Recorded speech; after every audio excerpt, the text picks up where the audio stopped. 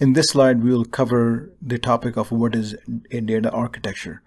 The data architecture discipline addresses both the technical and management issues to help an organization meet its data-related needs.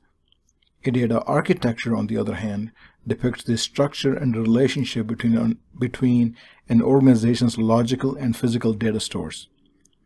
This data architecture is important because due to the immense volume of the data in an organization, it needs to create specific rules how to store the data, how to secure it, who can access it, etc.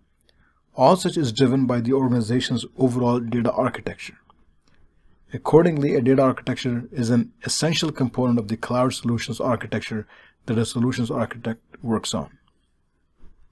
This illustration shows a sample high-level representation of an organization's databases and the relationship between them.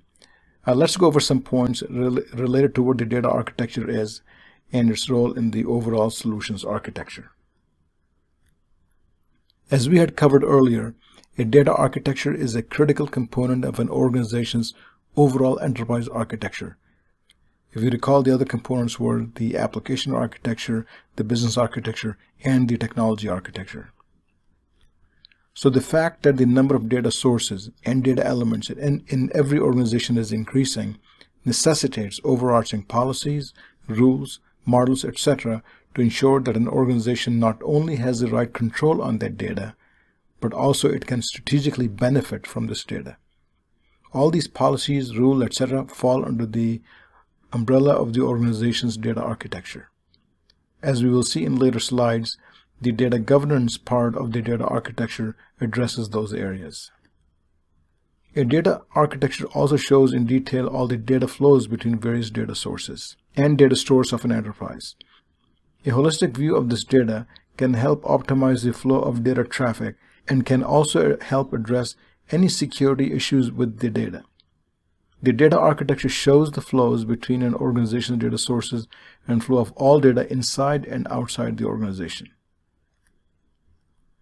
A data architecture establishes a common vocabulary about an organization's databases. This vocabulary covers processes and business use cases as well that depend on this data architecture. Having a common vocabulary helps all an organization's users and management to communicate more effectively about an organization's data and its uses. A data architecture also depicts all the interfaces between various data stores within the organization, and also interfaces that may exist external to the organization. A data architecture takes into consideration all data storage requirements, use cases, and the use of data within an organization's distributed computing environment. For example, data may be stored on premises or on a public cloud, and there may be use cases related to batch or real-time processing, enterprise data warehouses, or solution-specific big data solutions, and so on. Here we should also mention how data architects work with solution architects. So while data architects work on developing an organization's overall data architecture, solution architects ensure that the specific solution and the organization's data architecture are aligned with each other and the organization's overall technology and business requirements.